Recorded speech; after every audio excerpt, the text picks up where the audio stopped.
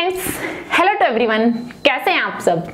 मैं अलका, हार्दिक स्वागत करती हूँ आपका हमारे यूट्यूब परिवार में, जिसका नाम है धाकड़ जैस। और फ्रेंड्स सीटेड पेपर फ़र्स्ट यानी जो पीआरटी का है हमारा उसके रिगार्डिंग में ईवीएस का कंप्लीट सिलेबस करा चुकी हूँ। और अभी हमारी सीरीज़ चल रही है टीजीटी मैथ और साइंस की और जिसमें हम पढ़ रहे हैं टीजीटी साइंस और आपको बता दूँ टीजीटी साइंस के रिगार्डिंग में फाइव वीडियोज़ ऑलरेडी अपलोड कर चुकी हूँ। और इन वीडियोज़ में हमने क्लास सिक्स और क्लास सेवेंथ कंप्लीट कर ली है।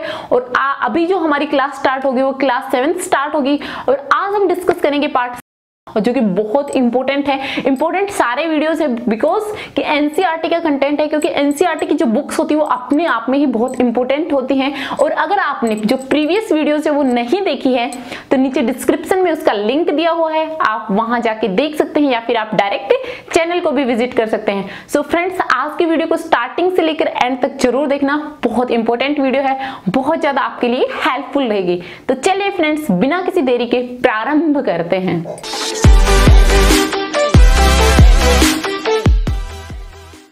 फ्रेंड्स फ़र्स्ट पॉइंट है इसमें कि मार्च पास्ट करते हैं सिपाही देखिए, ये हम ऑलरेडी डिस्कस कर चुके हैं कि सरल गति क्या होती है, हमारी आवर्ती गति क्या होती है, हमारी वर्तुल गति क्या है, ये सब हम प्रीवियस वीडियोस में डिस्कस कर चुके हैं। तो इसी में कुछ एग्जांपल दे कि जो मार्च पास्ट करते हुए सिपाही होते हैं, उसकी गति कैसी है वो? तो किस टाइप का गति है वो? सरल गति है। नेक्स्ट है कि सीधी सड़क पर चलती बैलगाड़ी की गति कैसी है? तो वो भी हमारी सरल गति है। नेक्स्ट आता है कि दौड़ते धावक के हाथों की गति। देखिए, हम दौड़ते हैं तो क्या होता है? एक बार आगे जाते हैं, एक बार पीछे जाते हैं, यानी उसी मोशन में चलते रहते हैं वो। तो वो हमारी क्या है? आवर्ती गति है। और नेक्स्ट पॉइंट है हमारा चलती देखिए, चलती साइकिल के पैडल की गति। जो साइकिल चल रही है तो उसके पैडल की गति कैसी है? तो राउंड राउंड में घूमता रहता है वो तो वो वर्तुल गति का उदाहरण है। कैसा है? वर्तुल गति है। नेक्स्ट है कि सूर्य के चारों ओर पृथ्वी की गति। तो वो भी उसके चारों तरफ़ परिक्रमा लगा रही है तो कैसी गति होगी उसकी? वर्तुल गति होगी। नेक्स्ट है कि झूले की गति। देखिए, एक टाइम पीरियड के बाद फिर वो उसी गति से चलने लग जाती है। तो ये क्या है हमारी? आवर्ती गति का उदाहरण है। नेक्स्ट आता है हमारा लोलक की गति। तो लोलक भी क्या है? हमारी आवर्ती गति का उदाहरण है। और फिर आता है हमारी सरल लोलक की गति। तो वो भी क्या है? हमारा आवर्ती गति का उदाहरण है। अभी देखिए नेक्स्ट पॉइंट देखते हैं हम। कि उपग्रहों को पृथ्वी की कक्षा में छोड़ा करने वाले रॉकेट ड्राइव आठ किलोमीटर प्रति सेकंड देखिए कितनी फास्ट स्पीड है इनकी। एट किलोमीटर पर सेकंड यानी एक सेकंड में आठ किलोमीटर के डिस्टेंस ट्रेवल करते हैं। तक चाल प्राप्त कर सकते हैं। इसके विपरीत कछुआ केवल, कछुआ कितने धीरे चलता है? आठ सेंटीमीटर पर सेकेंड मतलब एक सेकेंड में सिर्फ़ वो आठ सेंटीमीटर ही चलता है। ये दिया गया नेक्स्ट है कि हम स्पीड को किससे मापते हैं? तो स्पीड को स्पीडोमीटर से मापा जाता है। और जो वाहनों के आपने देखा होगा, हमारी बाइक वगैरह होती है, उसमें आगे ओडोमीटर होता है कि वो कितने किलोमीटर चले है। तो जो वाहनों के द्वारा तय दूरी होती है, उसको किससे मापते हैं? ओडोमीटर से मापते हैं। अभी हम चलते हैं अपने नेक्स्ट पॉइंट की तरफ़। ये है हमारा क्वेश्चन देखिए, कोई भी जब चैप्टर फिनिक्स होता है चैप्टर के एंड पे मैंने उस चैप्टर में दिए हुए एनसीईआरटी के क्वेश्चंस इंक्लूड किए हैं। जब 50 क्वेश्चंस हो जाएँगे तो मैं आपको सबके आंसर टेलीग्राम पे प्रोवाइड करा दूँगी। देखिए, मैंने क्वेश्चन नंबर नहीं डाला है। लेकिन अगर आप प्रीवियस की जब वीडियोस देखोगे तो उसके अकॉर्डिंग इसका क्वेश्चन नंबर आपको मिल जाएगा। तो इसी में है कि चाल का मूल मात्रक क्या है? ये ऑप्शन दिए हुए हैं और आपको इसमें से राइट ऑप्शन को सिलेक्ट करना है। नेक्स्ट क्वेश्चन है, इसमें स्पीड दी हुई है हमें और टाइम दिया हुआ है और फिर से स्पीड दी हुई और फिर से टाइम दिया हुआ है और फिर पूछ रहा है कि कितनी डिस्टेंस हमने ट्रेवल की। तो इसमें डिस्टेंस का फॉर्मूला लगाना है और हमें टाइम जो डिस्टेंस है वो फाइंड आउट करनी है कि कितनी डिस्टेंस इसने ट्रेवल की। नेक्स्ट बहुत इंपॉर्टेंट है, देखिए इसको बहुत अच्छे से करना। इसको मैं इवन अपनी आने वाली जो वीडियो होगी, जिसमें मैं सारे क्वेश्चंस को एक्सप्लेन भी करके बताऊँगी आपको फिर बहुत अच्छे से समझाऊँगी। और ये सीटेट का रिपीटेड क्वेश्चन है। Even three two four times ये क्वेश्चन सीटेट में आ चुके हैं तो प्लीज़ इसे मतलब मिस मत करना आप। हाँ ये टाइम और डिस्टेंस का ग्राफ दिया हुआ है, और इसमें पूछ रहे हैं कि किसकी जो चाल है, हमारी जो स्पीड है, वो नियत नहीं है। तो ये देखिए, चार ग्राफ दिए हुए हैं। ध्यान से देखना आप चारों को, और फिर इसका रिप्लाई करना। नेक्स्ट है हमारा कि राष्ट्रीय भौतिक प्रयोगशाला नई दिल्ली में स्थित है। कहाँ है? जो राष्ट्रीय भौतिक प्रयोगशाला है हमारी, वो कहाँ स्थित है? नई दिल्ली में स्थित है। अब देखिए, आप जब भी बैटरी में सेल डालते हैं तो आपने देखा होगा, एक साइड पॉजिटिव लिखा रहता है और दूसरी साइड नेगेटिव लिखा रहता है। तो ये उसके दो टर्मिनल्स होते हैं पॉजिटिव टर्मिनल और नेगेटिव टर्मिनल और जब दो और दो से अधिक के जो सेल होते हैं, वो इसमें इस प्रकार जोड़े जाते हैं तो इस संयोजन को क्या बोला जाता है? उसको बैटरी के नाम से जाना जाता है। नेक्स्ट है कि हमारा जब किसी तार से कोई विद्युत धारा प्रभावित होती है तो वह तप्त हो जाता है। क्या हो जाता है? वह गर्म हो जाता है। और इसे क्या बोलते हैं? विद्युत धारा का तापीय प्रभाव के नाम से जाना जाता है। अभी नेक्स्ट है हमारा कि देखिए, जो विद्युत धारा का तापीय प्रभाव, यानी जो उष्मा उत्पन्न होती है, वो किस किस पर निर्भर करती है? क्या क्या कंडीशंस होनी चाहिए उसके लिए? तो पहले है कि उस तार की धातु है जिससे बना है। मान लीजिए, हमने ले लिया तांबा तो गुड कंडक्टर ऑफ़ इलेक्ट्रिसिटी है ये। तो इसमें देखेंगे कि कौन कौन सी धातुओं से वो बना हुआ है, उसकी लंबाई क्या है और उसकी मोटाई क्या है? इन चीज़ों पे वो डिपेंड करता है। नेक्स्ट है फ्रेंड कि हमारे जितने भी बल्ब वगैरह होते हैं, उनमें फ्यूज लगे होते हैं। फ्यूज क्या होते हैं? जब बहुत ज़्यादा हाई वोल्टेज की लाइट आ गई तो फ्यूज पिघल कर टूट जाते हैं, ठीक है? अब ये फ्यूज क्या काम करते हैं? ये प्रोटेक्शन करते हैं। अगर ये पिघल के नहीं टूटेंगे तो शॉर्ट सर्किट वगैरह भी हो सकता है। कहीं लाइट में मान लो कभी तेज हो रही है, कभी कम हो रही है। तो ये फ्यूज इसमें हेल्प करते हैं। अभी देखिए फ्यूज के निर्माण में किया जाता है और जो विद्युत परिपथ की क्षति और आग से बचाते हैं। नेक्स्ट कि हमारा प्रकाश सरल रेखा के अनुदिश गमन करता है। इसके लिए आप एक एक्सपेरिमेंट भी कर सकते हो, कोई भी मोमबत्ती जलाए और एक सीधे पाइप से देखोगे तो आपको दिखाई देगा। लेकिन अगर जिगजैग मोशन में कोई पाइप है हमारा, और अगर आप उससे देखते हो तो आपको प्रकाश है वो दिखाई नहीं देता है। तो ये क्या है कि जो प्रकाश है हमारा, वो सरल रेखा के अनुदिश गमन करता है। नेक्स्ट पॉइंट हमारा प्रावर्तन, और इंग्लिश में बोलते हैं इसको रिफ्लेक्शन बोला जाता है। अभी ये क्या है? तो ये क्या है? बेसिकली कोई भी रेज आई और रेज आके किसी भी मिरर पे वो टकराती है। ठीक है? और उससे तुरंत क्या करती है कि जो प्रकाश है वो अपनी जो उसकी दिशा है उसको बदल लेता है। इसको क्या बोला जाता है? इसी को प्रकाश का प्रावर्तन यानी इसको रिफ्लेक्शन कहते हैं। बहुत इंपॉर्टेंट टॉपिक है। क्लास नाइन्थ में बहुत अच्छे से दिया हुआ है। तो अगर आप इसके बारे में ज़्यादा पढ़ना चाहते हैं तो एनसीआरटी की क्लास नाइन्थ की बुक लीजिए और पढ़िए। अभी नेक्स्ट है कि हमारा समतल दर्पण। देखिए, इसमें से भी कभी कभी पूछा जाता है तो ये भी देखना ज़रूरी है कि समतल दर्पण क्या है। देखिए, समतल दर्पण में बनने वाला जो प्रतिबिंब होता है, प्रतिबिंब यानी छाया बनती है हम मिरर के सामने खुद को खड़े होकर देख रहे हैं तो हम क्या है? बिंब है। और जो मिरर में हमें दिखाई दे रहा है, वो क्या होता है हमारा? प्रतिबिंब है। तो ये हुआ प्रतिबिंब और बिंब जो हम खुद हैं वो।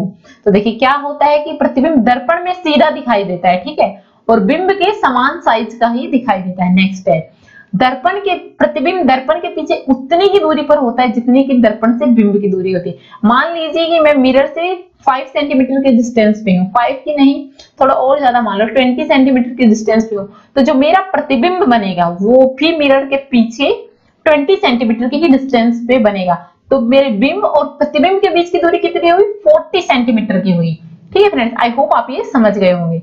नेक्स्ट है कि दर्पण के द्वारा प्रतिबिंब में बिंब का वाम भाग प्रतिबिंब के दक्षिण भाग और बिंब का दक्षिण भाग प्रतिबिंब के बांग भाग की भांति दिखाई देता है। ये आप खुद एक्सपेरिमेंट करें इसके कि मिरर के सामने खड़े और अपना राइट हैंड उठाओ। और जब आप कंपेयर करोगे कि जो मिरर में हमें दिखाई दे रहा है वो हमें हमारा लेफ़्ट दिखाई देता है। तो ये एक बार आप आ, खुद करके देखे आपको बहुत अच्छे से समझ में आ जाएगा। फिर देखा हमारा अवतल दर्पण क्या होते हैं और हमारे उत्तल दर्पण क्या है ये देखिए। इसमें क्या करना है आपको ये देखो ये ऐसे ये जो बाहर की तरफ़ उभरा हुआ हिस्सा होता है वो क्या होता है हमारा अवतल होता है। और जो अंदर की तरफ़ ये ऐसा होता है, ये क्या होता है? हमारा उत्तल होता है। इसके लिए बेस्ट एग्ज़ाम्पल है हमारी स्पून लो आप। सब्ज़ी बनाने के जो चमचे होते हैं ना, वो चमचे लीजिए। कोई थोड़ा फ्लैट टाइप का होता है, थोड़ा वो लीजिए। बिल्कुल उंडे वाला, जो गहरे वाला होता है, वो मत लीजिए। तो इसमें जो पॉइंट है, वो क्या है कि चम्मच का भीतरी पृष्ठ अवतल दर्पण होता है। क्या होता है? जो भीतरी पृष्ठ वो क्या होगा? यूँ ऐसे गहरा होगा। तो वो क्या होगा? हमारा अवतल दर्पण होगा। और बाहरी देखना, ऐसे उभरा हुआ होता है। वो क्या होता है? हमारा उत्तल दर्पण होता है।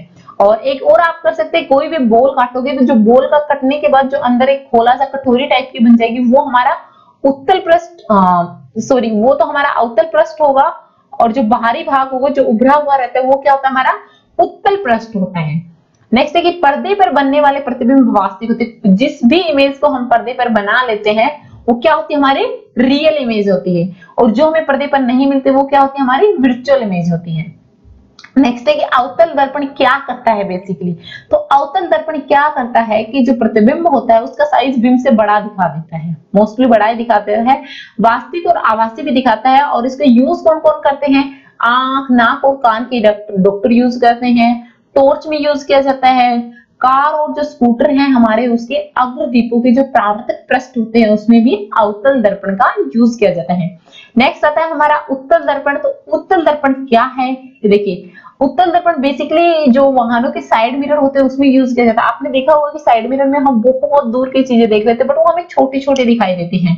तो इसका देखो, प्रतिबिंब कैसा होता है? सीधा होता है, बिल्कुल सीधा दिखाई देता है, आभासी है, और साइज़ में बिंब से छोटा पाया जाता है नेक्स्ट इसका नेक्स्ट पॉइंट है कि उत्तर लेंस वास्तविक तथा उल्टा प्रतिबिंब बना सकता है।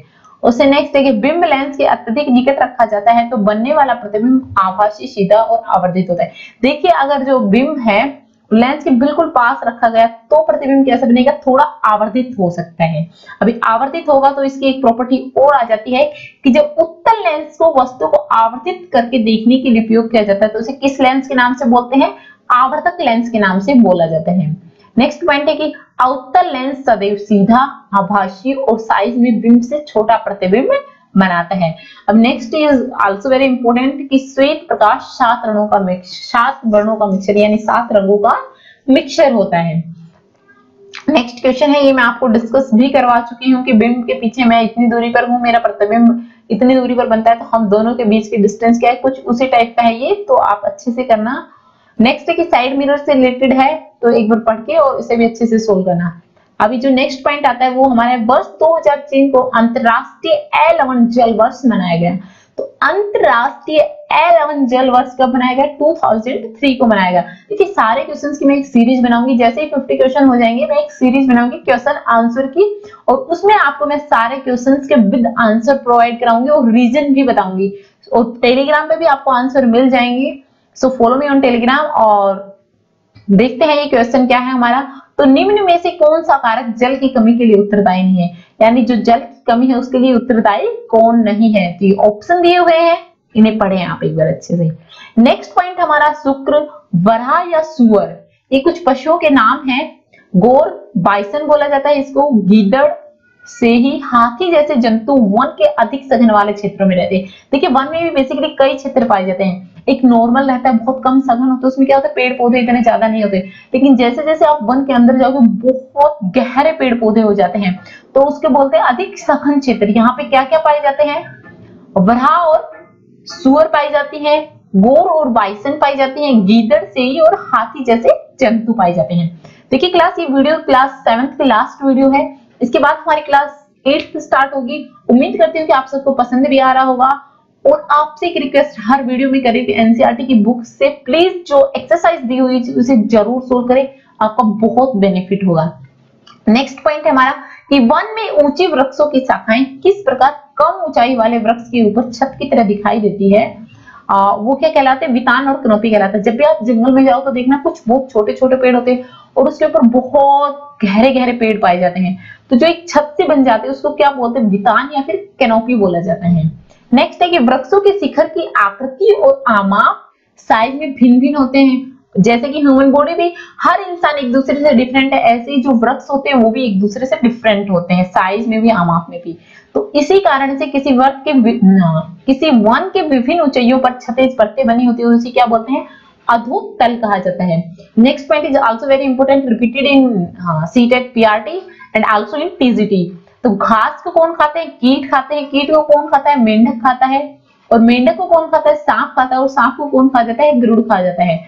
तो ये है हमारी साइकिल इसको आपको याद रखना है। नेक्स्ट है कि मर्द पादपों और जंतु उत्कों को खाते हैं उन्हें गहरे रंग के पदार्थ में परिवर्तित कर देते हैं जिसे हम क्या कहते हैं? ह्यूमस कहते हैं। और इसे रोटिंग डेड मैटर्स भी है क्लास एट में हम आ, और इसके बारे में थोड़ा पढ़ेंगे। नेक्स्ट है हमारा कि पादप और जंतुओं के मर्द शरीर को ह्यूमस में परिवर्तित करने वाले सूक्ष्म जीव क्या कहलाते हैं? अपघटक कहलाते हैं। तो अपघटक क्या करते हैं? बेसिकली जितने भी मरे हुए शरीर है, उसको ह्यूमस में ट्रांसफ़र कर देते हैं और ये क्या होते हैं? सूक्ष्म जीव कहलाते हैं। नेक्स्ट मैंने कुछ क्वेश्चन इंक्लूड किए हैं। पहला है, निम्न में से कौन सा वन उत्पाद नहीं है? यानी इनमें से कौन सा एक वनों का उत्पाद नहीं है जो हमें वन के द्वारा नहीं मिलता है? नेक्स्ट कि निम्न में से कौन सा वक्तव्य सही नहीं है? ये कुछ वक्तव्य दिए गए हैं। इसमें से आपको बताना है कि इसमें से कौन सा पॉइंट है वो सही है और कौन सा पॉइंट सही नहीं है। यानी जो सही नहीं है वो बताना है एक पॉइंट तीन पॉइंट सही है और एक पॉइंट सही नहीं है। नेक्स्ट है कि सूक्ष्म जीवों के द्वारा मृत पादपों पर क्रिया करने से बनने वाला एक उत्पाद क्या है? देखिए मृत पादप होते हैं उस पर जब क्रिया करते हैं सूक्ष्म जीव तो कौन सा एक उत्पाद बनना है? उसका नाम लिखना है। नेक्स्ट आता है कि वाहित मल क्या है? सीवेज क्या है? देखिए, अब इसके बारे में बहुत अच्छे से पढ़ेंगे। वाहित मल द्रव रूपी अवशिष्ट होता है और इसमें अधिकांश क्या होता है? जल ही होता है हमारा। इसमें घुले हुए और निलंबित आप द्रव्य होते हैं। आप द्रव्य संदूषित कहलाते हैं। इंग्लिश में लिखा हुआ है, आप पढ़ लेना। और फिर आता है हमारा क्वेश्चन क्वेश्चन क्या है? कि ओजोन लेवल ओजोन लेवल के बारे में आप सबने बहुत अच्छे से पढ़ा होगा साइंस में भी इवन हमारे ज्योग्राफी वगैरह में भी इसके बारे में काफ़ी डीपली दिया हुआ है। तो आप एक बार पढ़े, आपको क्लियर हो जाएगा। तो नेक्स्ट है ओजोन के बारे में से निम्न वक्तव्यों को ध्यान पूर्वक सुनिए ये कुछ चार वक्तव्य दिए गए हैं।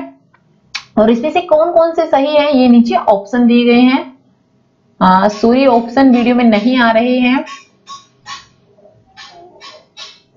एक बार मैं ट्राई करती हूँ। ऑप्शंस कवर नहीं हो पा रहे हैं। तो आप अपने खुद की तरफ़ जब, हम प्रैक्टिस जब मैं सोल्व करवाऊँगी सारे क्वेश्चन तो मैं आपके इसके ऑप्शन भी दिखा दूँगी।